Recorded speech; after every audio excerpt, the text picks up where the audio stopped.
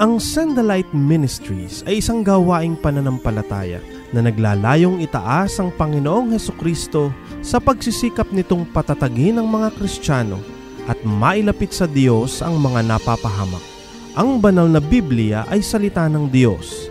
Dito po natin masusumpungan ang mga kasagutan sa mga katanungan ng buhay. Ito rin po ang tanging patnubay sa ating buhay spiritual.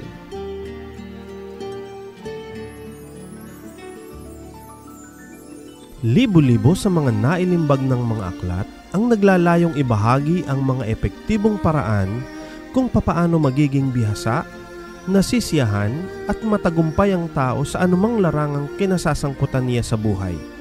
Ang banal na Biblia man na salita ng Diyos ay hitik sa mga alituntunin at prinsipyong makatutulong sa mananampalataya upang maging maayos ang kanyang pakikitungo sa kapwa-tao at lalo't higit sa Diyos.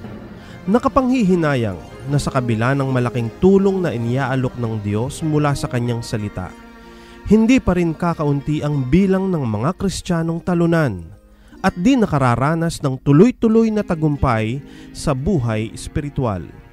May pitong lihim ng pananagumpay espiritual na makikita sa Biblia. Isisiwalat po ang mga ito ng ating tagapagturo, si Brother Rodel Malyari.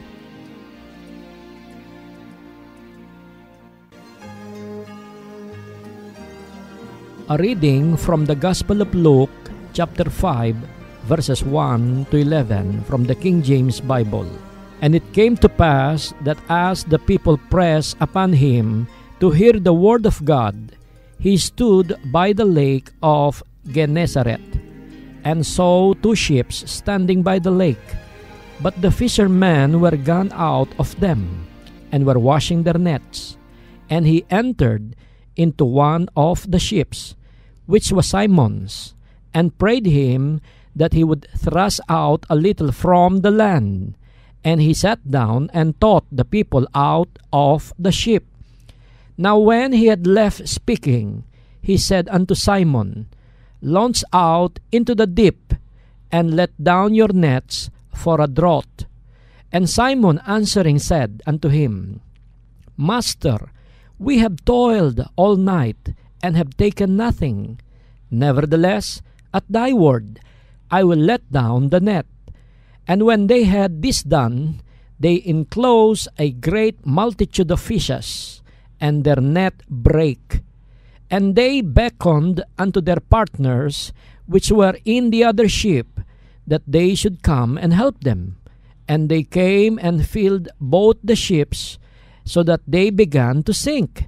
When Simon Peter saw it, he fell down at Jesus' knees, saying, Depart from me, for I am a sinful man, O Lord. For he was astonished, and all that were with him, at the draught of the fishes which they had taken. And so was also James and John, the sons of Zebedee, which were partners with Simon. And Jesus said unto Simon, Fear not, from henceforth thou shalt catch men.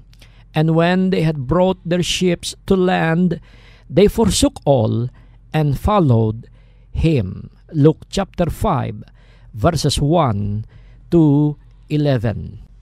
At ito ay nangyari na habang ang mga tao'y dumadagsa sa kanya upang pakinggan ang salita ng Diyos, ay tumayo siya sa tabi ng lawa ng Genesaret at nakakita ng dalawang bapor na malapit sa lawa.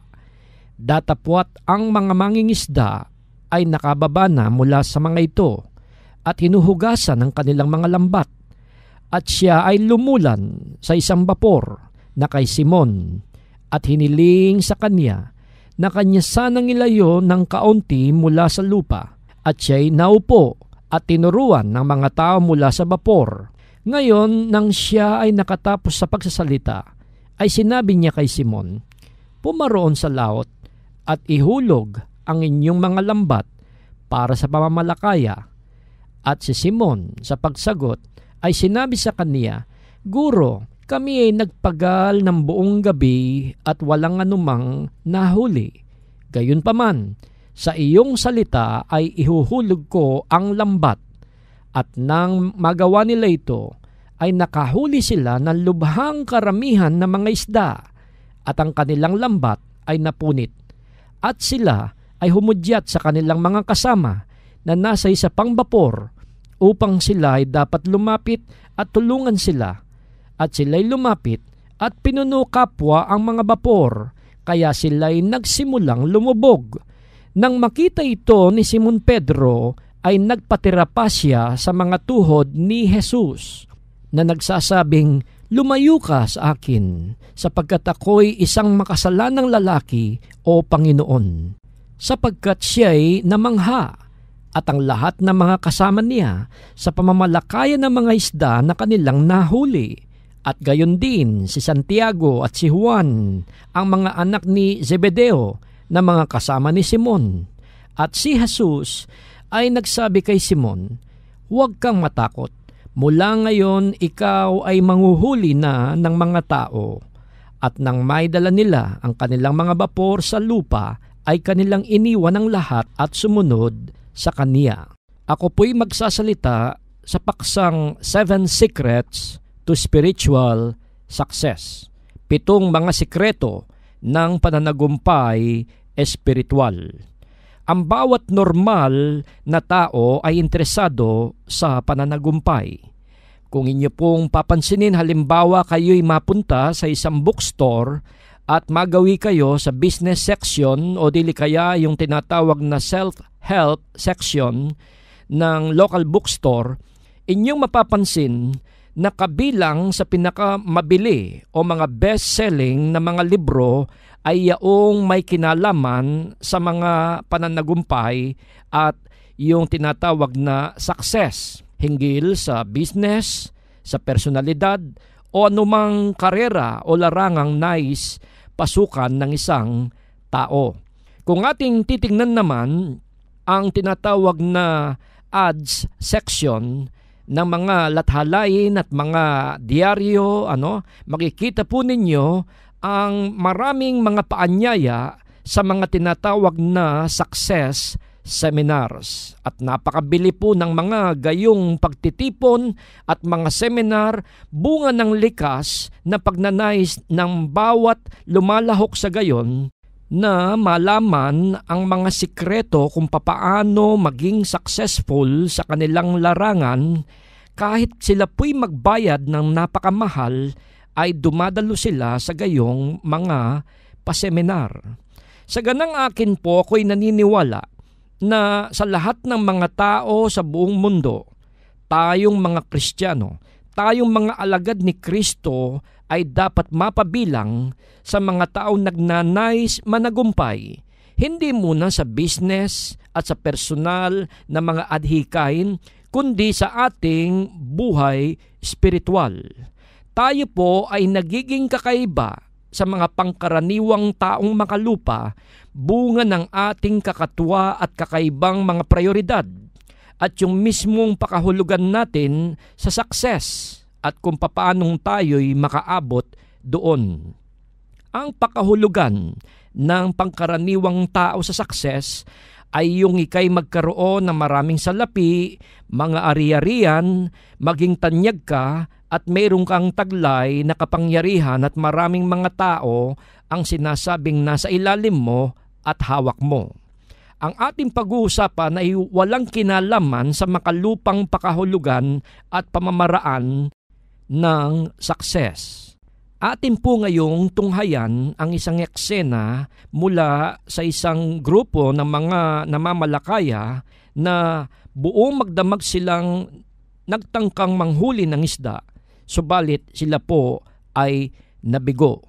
Ating matutuhan mula sa karanasang ito kung papaanong tinuruan sila ng Panginoon nung kapanahunang nakadadama sila ng kabiguan hanggang pinagkalooban sila ng Panginoon ng mga prinsipyo kung papaano managumpay at sila'y matulungan sa kanilang buong mga kabuhayan. Ang pitong secret na ito to spiritual success ay ang mga sumusunod. Ang unay, accept limitations of human efforts and plans. Tanggapin po nating taus-puso ang mga limitasyon ng kakayahan at mga pagpupursige bilang tao. Makikita po natin yan sa Luke chapter 5 verse 5 na ang sabi po ay And Simon answering said unto him, Master, we have toiled all the night and have taken nothing. Nevertheless, at thy word, I will let down the net. Luke chapter 5, verse 5. At sa pagsagot ni Simon ay sinabi niya sa kanya, Maestro, kami ay nagpagal buong magdamag at wala kaming nahuling anuman. Gayunpaman, sa iyong salita ay bababa ko ang lambat.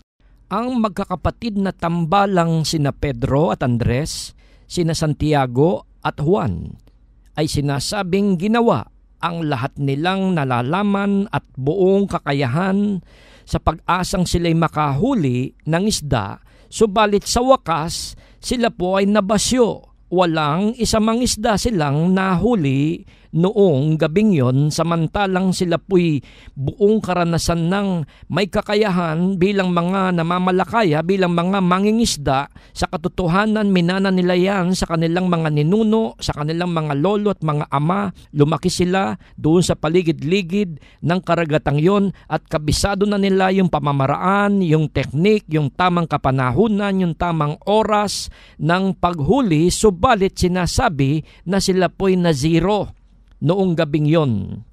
Ang mabuting balita, naroon ang Panginoong Yeso Kristo upang turuan silang manghuli ng isda. Ito po kakatwang pangyayari dahil isang karpentero pa ang nag-lecture at nagturo sa mga profesional na mga fisherman kung papaano po manghuli ng isda. Of course, ang ating Panginoong Yeso Kristo in the real sense of the word, siya talagang may tuturing nating pinaka jack of all trades. If I may use yung titulong yon, lahat nalalaman ng Panginoon na yan po'y mabuting balita para sa ating lahat. Samantalang totoo na pinagkalooban tayo ng Diyos ng mga utak, ng personal na diskarte, pamamaraan, kakayahan, ay kadalasan po hindi natin nakukuha yung ninanais nating resulta kahit paggawin na natin ang lahat nating alam na mainam at mabuti. Kung minsan wala tayong sapat na kakayahan at karunungan at hindi natin kontrolado ang mga pangyayaring susunod sa ating buhay upang ating matamo ang tunay na pananagumpay. Sinasabi ng Panginoon Diyos in Isaiah 55 verses 8 and 9, For my thoughts are not your thoughts, neither are your ways my ways, saith the Lord. For as the heavens are higher than the earth, so are my ways higher than your ways, and my thoughts than your thoughts. Isaiah 55 verses 8 and 9. Sapagkat ang aking mga kaisipan ay hindi ninyo kaisipan, ni hindi ninyo pamamaraan ang aking mga pamamaraan, sinasabi ng Panginoon. Sapagkat kung gaano katayog ang mga kalangitan kaysa sa kalupaan, ay gayon din kataas ang aking mga pamamaraan kaysa inyong mga pamamaraan at ang aking mga kaisipan kaysa sa inyong mga kaisipan. Sinasabi rin at pinapatotohanan ni David na tao ng Diyos in Psalms 39 verse 5, Verily every man at his best state is altogether vanity. Psalms 39 verse 5b. Sa katotohanan, ang bawat tao sa kanyang pinakamainam na kalagayan ay pawang kawalang kabuluhan. Yan po ang patotoo ng banal na Biblia. Ano pat ito'y nagpapaalala sa atin sa dakilang katotohanan ng matagal nang sinabi ng Panginoon na anong magiging pakinabang mo kung maging pag-aari mo man ng buong sanlibutan at lahat ng nasa sanlibutan ito. Sa lapi, kapangyarihan o yung worldly success at yung impluensya at yung katanyagan kung mapahamak naman ang iyong kaluluwa sa apoy ng impyerno, naging walang kabuluhan ang lahat-lahat ng iyong mabuting kalagayan dito sa lupa. Ang ikalawang secret to spiritual success is also found in verse 5. At yan po ay yung katotohanan trust Jesus' word even if it doesn't make sense. Magtiwala sa salita sa patnubay ng Panginoong Hesus maski na pa hindi natin ito lubos na naunawan, maski na pa ito hindi logical, hindi practical, gawin natin ang sinabi ni Pedro nang sabihin niya sa Luke chapter 5 verse 5, Master, we have toiled all the night and have taken nothing. Yun ang human effort. Ito yung faith. Nevertheless, at thy word, I will let down the net. Wala po kaming nahuling anuman, subalit nang dahil sinabi ninyo, yan po ang aming gagawin at muli naming ibababa ang lambat. Pagtiwalaan ang salita ng Panginoong Hesus, maski na pa hindi natin ito lubos na naunawaan. Alam po ninyo sa buhay kristyano, hindi nangako ang Diyos na ipapaliwanag ang lahat-lahat in detail ng lahat niyang ginagawa, ng lahat niyang pagpaplano sa ating buhay, kundi ang tiniyak lamang ng Panginoon na habang tayo lumalakad ng may pananampalataya sa kanyang salita at kalooban ay unti-unti niyang ilalahad ang kanyang pamamaraan, ang kanyang kaisipan habang tayo lumalakad na kasama niya. Sa palagay ba ninyo, ano kayang naramdaman nitong mga commercial fisherman na ito? Samantalang sila pinagpapayuhan ng isang karpenterong naging mangangaral. It is illogical. It is impractical na karpintero in human understanding na karpintero ang magle-lecture, magtuturo pa sa mga commercial and professional fishermen na napakalawak na ng karanasan, bumilang na sila ng maraming taon mula pagkabata ay kanilang kabisado na ang pangingisda. Ano sa akala ninyo ang usually maiisip ng isang tao logically? In short, parang hindi tama na yung taong wala namang kinalaman sa fishing ang magtuturo sa fishing. Ganyan kagaling ang ating Panginoon at ang ating Maestro, ang Panginoong Yeso Kristo. It was actually the Lord Jesus Christ, the carpenter turned preacher from Nazareth who made fishing successful. Naroon kay Jesus ang kapangyarihan, alam nila yan because they have heard Him preach so many times. Of course, hindi hiningi ng Panginoong Yeso Kristo na gawin nila ang hindi tama. Ang ginawa nila ay tama. Dangan nga lamang this time, ito'y sa direksyon at patnubay ng Panginoon. Tandaan po natin, ang Panginoon hindi hihilingin sa atin na gawin yung bagay na illegal, immoral at labag sa salita ng Diyos sa batas ng Diyos at maging sa batas ng tao. Ang ginawa ng Panginoon ay isang bagay nakakatuwa sa ganang mga mangingisda. Sa palagay nila, sinubukan na nilang lahat maliban doon sa pamamaraan ng Panginoon. Bagay na nagpapaalala sa atin sa winika at pangako ng Panginoon in Proverbs 3 verses 5 to 7. Trust in the Lord with all thine heart and lean not unto thine own understanding. In all thy ways, hindi po some, but in all thy ways, acknowledge Him, and He shall direct thy paths. Be not wise in thine own eyes. Fear the Lord, and depart from evil. Magtiwala ka sa Panginoon ng iyong buong puso at huwag kumiling sa iyong sariling kaunawaan sa lahat ng iyong mga pamamaraan ay kilalanin mo siya at kanyang papatnubayang ang iyong mga landas. Huwag kang maging marunong sa iyong ganang sariling mga mata. Matakot ka sa Panginoon at tumakas sa kasamaan. Yan po ang direksyon, yan ang pamamaraan, yan ang patnubay ng Panginoon. Magtiwala sa kanyang salita kahit na pa ang pamamaraan ng tao ay nagsasabing mali yan, hindi tama, hindi logical o practical. Ang ikatlong secret to spiritual success ay yung katotohanang be willing to face problems and pains. Maging handa tayo, magpakalalaki, magpakatao tayo ng Diyos na humarap sa mga suliranin at pasakit ng buhay dito sa lupa. In Luke chapter 5 verse 4 ay mababasa natin ang ganito. Now when he had left speaking, ang Panginoong Heso Kristo ang tinutukoy pagkatapos niyang mangaral sa mga tao. He said unto Simon, Launch out into the deep and let down your nets for a draught.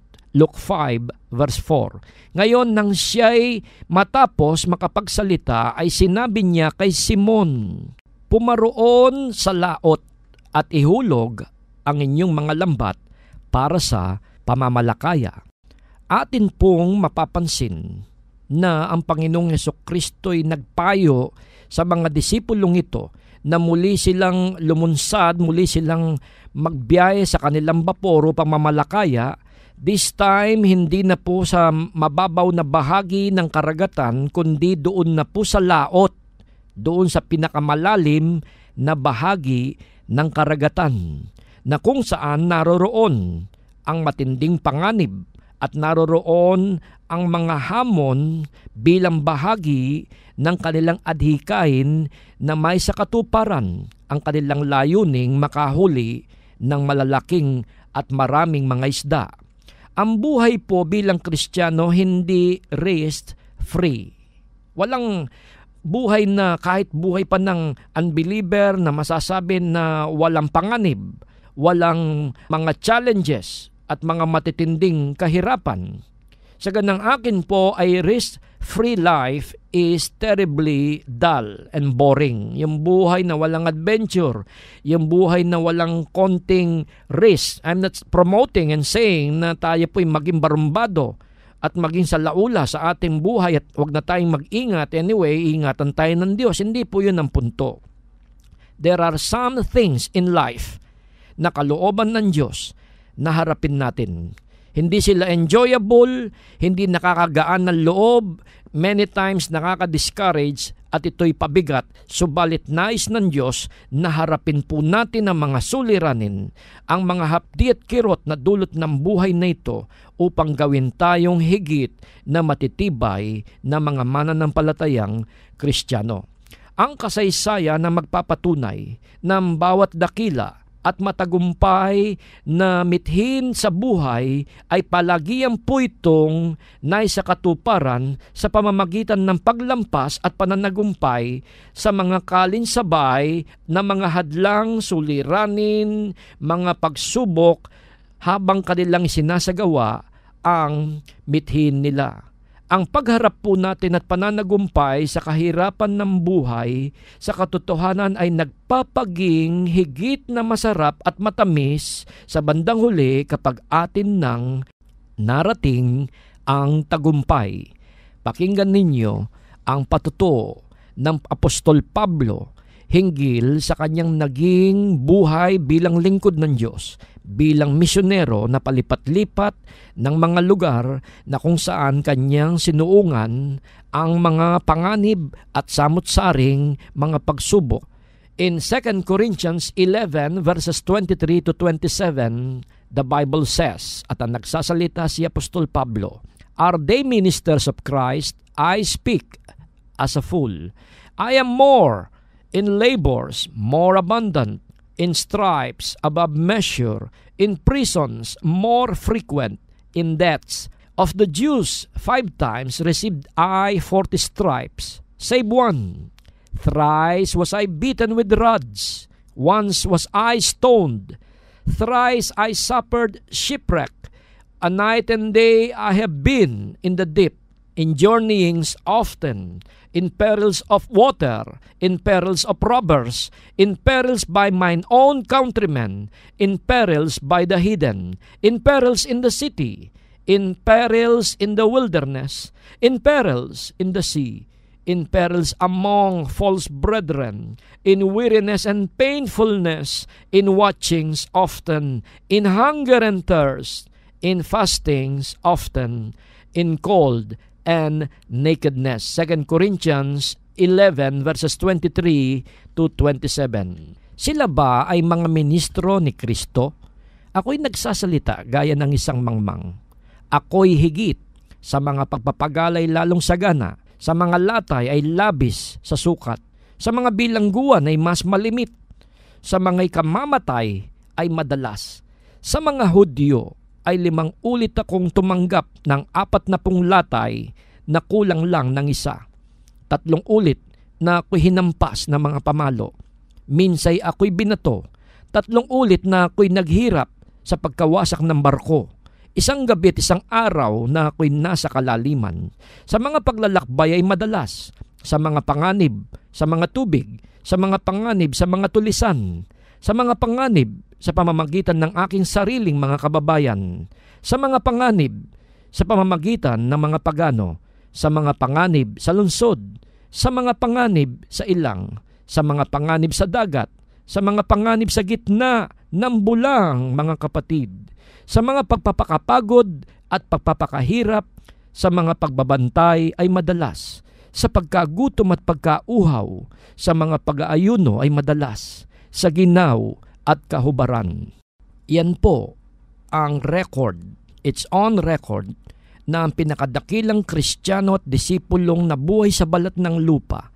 Siya rin ay taus pusong humarap sa mga suliranin at pasakit bilang lingkod ng Panginoong Kristo. Huwag po tayong matakot sa mga problema nang dahil kasama natin ang ating Panginoon at tagapagligtas. Kung tunay nga na pinagkatiwala mo na ang iyong kaluluwa sa Diyos, ano bang pumipigil sa iyo para ipagkatiwala ang iyong sirkumstansya at kasalukuyang kalagayan? The fourth secret of spiritual success is never give up even when feeling prostrated. Huwag kang basta-basta bumigay at mawalan na ng pag-asa kahit napadamang-dama mo na ang pagkabigo. Makikita natin na ang Apostol Pedro, sampu ng kanyang mga kasamaan, by all human standards and human explanation, hindi na sila dapat pang lumunsad at pumalaot. Subalit, ang ginawa nila sa kabila ng kabiguan, wala silang nahuli kahit isang paralitikong tuyo ang ginawa po nila, hindi sila kumiling sa sariling kaunawaan, kundi sila'y sumunod sa payo at direksyon ng Panginoon kahit pa nakadadama sila ng kasalukuyang kabiguan. Sila'y pagod, sila'y walang tulog, ngunit ang maganda sa kanila hindi naging dahilan ng posibleng mga alibis at excuses, mga pagdadahilan upang hindi nila gawin ang kanilang bahagi. Naalala ko po ang sinabi ng dakilang Apostol Pablo in 2 Corinthians 12.9 And he said unto me, My grace is sufficient for thee, for my strength is made perfect in weakness. Most gladly therefore will I rather glory in my infirmities, that the power of Christ may rest upon me. At sinabi niya sa akin, ang aking biyaya'y sapat para sa iyo, sapagkat ang aking kalakasan ay napapaging sakdal sa kahinaan. Lalong lubhang magagalak ako kung gayon sa aking mga kahinaan upang ang kapangyarihan ni Kristo'y manahan sa akin, wika ni Apostol Pablo. Minsan pa'y sinabi niya in Philippians 4.19, I can do all things through Christ which strengtheneth me. Philippians 4.19 Magagawa ko ang lahat ng mga bagay sa pamamagitan ni Kristo na siyang nagpapalakas sa akin. Discouragement will come, yes, but be willing to try and try again. But this time, it is in the Lord's way. Pagdating ng setbacks, ng mga frustrations, ng mga failures, natural lang po bilang mga tao na tayo ma-discourage. Ngunit, tayo po'y huwag mawalan ng pag-asa. Subukan pa natin minsan, subalit sa panahong ito'y sa kaparaanan ng Panginoon Diyos. In 1 Samuel 30 verse 6, tingnan po ninyo ang nangyari sa lingkod ng Diyos na si David. And David was greatly distressed, for the people spake of stoning him because the soul of all the people was grieved, every man for his sons and for his daughters. But David encouraged himself in the Lord his God. 1 Samuel 30 verse 6 At si David ay labis na nahapis dahil ang bayan ay nag-usap-usap upang siya'y batuhin na. Dahil ang kaluluwa ng buong bayan ay napighati ang bawat tao ay nang dahil sa kanyang mga anak na lalaki at dahil sa kanyang mga anak na babae. Ngunit pinalakas ni David ang kanyang sarili sa Panginoon na kanyang Diyos. Ang pangyayari pong ito may kinalaman sa isang krisis sa buhay ng pinunong si David nang sila'y kubkubin ng kanilang mga kaaway at kinidnap po dinalambihag ang kanilang mga anak na babae at anak na lalaki, of course, ang responsibilidad ay malalaglag sa balikat at yung sisi ay ibabato kay David. Anong ginawa ni David? Una, ang hindi niya ginawa ay ang magreklamo at magprotesta sa Panginoon, kundi sinasabi ng Biblia, pinalakas niya ang kanyang loob sa kanyang Panginoong Diyos. That's the spirit. That's the way of the Lord. And then the fifth secret of spiritual success is remember the importance of teamwork. Atin pong alalahanin ang kahalagaan at dulot na tulong ng paggawa bilang isang pangkat. Makikita po natin yan sa Luke chapter 5 in verse 7. And they beckoned unto their partners which were in the other ship that they should come and help them. And they came and filled both the ships so that they began to sink. Luke chapter 5 verse 7. At sila'y humudyat sa kanilang mga kasamahan na nasa iba pang bapor upang sila'y lumapit at tulungan sila. At sila'y lumapit at pinunukapwa ang mga bapor ano pat sila'y nagpasimulang lumubog. Yan ang sinasabi ng banal na kasulatan. There is always continual need for more laborers in the Lord's work. Sinabi yan ng Panginoon in Luke chapter 10, verse 2. Therefore he said unto them, The harvest truly is great, but the laborers are few. Pray ye therefore the Lord of the harvest that he would send forth laborers into his harvest. Luke 10, verse 2. Kaya nga sinabi niya sa kanila, ang aanihin ay tunay na napakarami, ngunit ang mga manggagaway kakaunti. Idalangin nga ninyo sa Panginoon ng tag-ani na siya'y magpadala ng mga manggagawa sa kanyang aanihin. As success came, the disciples had to share the burden. Ganun po, hindi ka pwedeng nag-iisa. No man is an island even in Christian life and in Christian ministry as well. Kahit ano pang galing mo, kakailanganin mo ang mga kamanggagawa, ang mga kabalikat, ang mga kasakasama bilang lingkod at ministro at bilang kapwa Kristiyano. Hindi ka magsusurvive na nag-iisa sa iyong buhay spiritual o dili kaya naman na nagsisimula ng isang ministeryo at gawain sa Panginoon. Take it from the disciples themselves. Remember the importance of teamwork. Ang Panginoong Kristo nung siya'y naparito sa lupa ay kinailangan pa niya ang tulong ng labindalawang mga alagad. Since Jesus was the ultimate focus ng kanilang paglilingkod dito, it did not matter who got the credit. Wala pong puwang na sabihin nating tayo ang bida, tayo lang ang ginamit ng Panginoon, tayo lang ang founder, tayong nagpasimula. Sinasabi po ang prinsipyo sa banal na kasulatan, ang lahat ng nagkaroon ng bahagi, maliit man o malaki, sa isang gawain o sa isang mithiin para sa Panginoon ay bibigyang pagpapala at gantimpala sa bandang huli. 1 Corinthians 3 verses 5 to 6 says, Who then is Paul, and who is Apollos, but ministers by whom ye believe, even as the Lord gave to every man? I have planted, Apollos watered, but God gave the increase. 1 Corinthians 3 verses 5 to 6. Sino ba kung gayon si Pablo at sino si Apollos? Kundi mga ministro na sa pamamagitan nila'y kayo'y sumampalataya maging kung paano ang Panginoon ay nagkaloob sa bawat tao. Ako ang nagtanim, si Apolos ang nagdilig, ngunit ang Diyos ang nagkaloob ng paglago. The sixth secret of spiritual success is remember, God can give us more than we ask or imagine. Alalahanin mo, kapatid, kaibigan, na kaya ng Diyos na pagkalooban tayo ng higit kaysa sa ating iniisip man o hinihiling. In Luke chapter 5 verse 6, we see this demonstration. And when they had this done, they enclosed a great multitude of fishes, and their net break. Luke chapter 5 verse 6.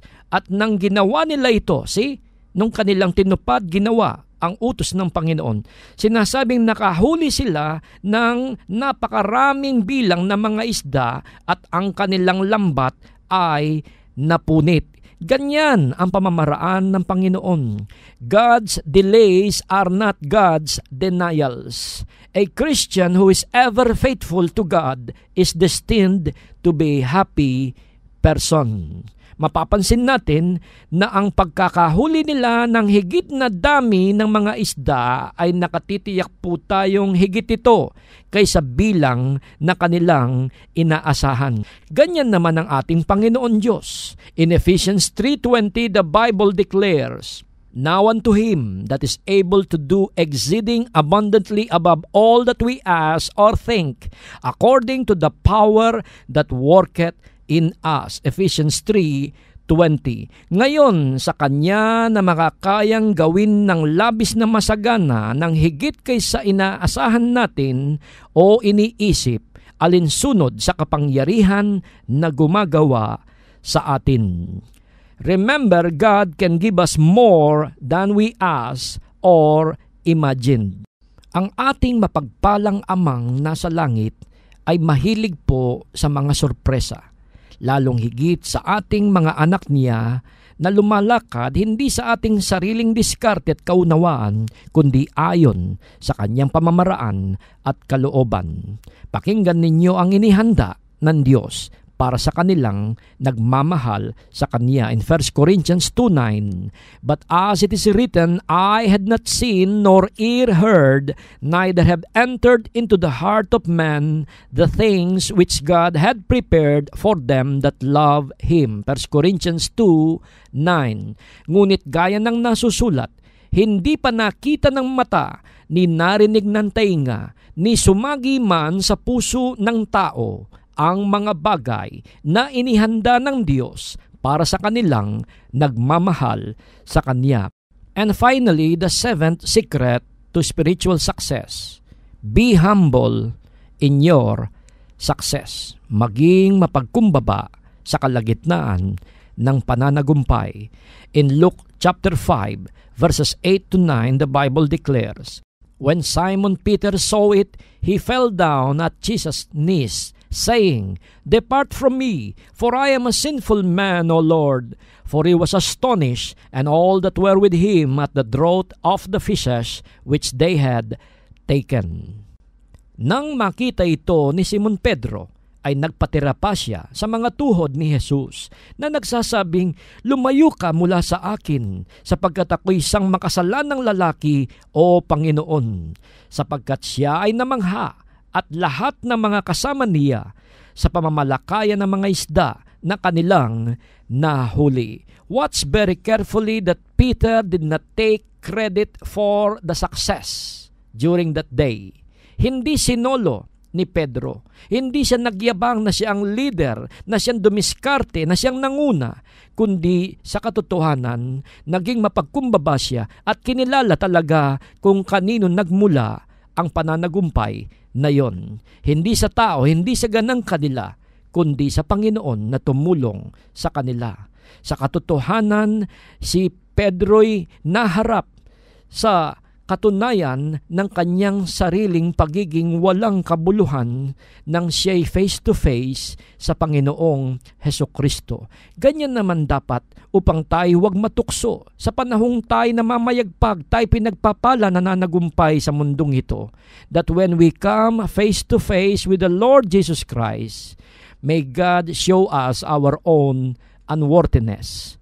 The goodness of God should lead us to repentance. In Romans 2:4 the Bible says, O despisest thou the riches of his goodness and forbearance and long suffering, not knowing that the goodness of God leadeth thee to repentance? Romans 2 verse 4. O iyong nilalait ang kayamanan ng kanyang kabutihan at pagtitiis at pagbabata sa di pagkakilala na ang kabutihan ng Diyos ang umaakay sa iyo tungo sa pagsisisi?